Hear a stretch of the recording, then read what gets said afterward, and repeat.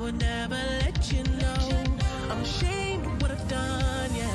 When I look at you in your eyes,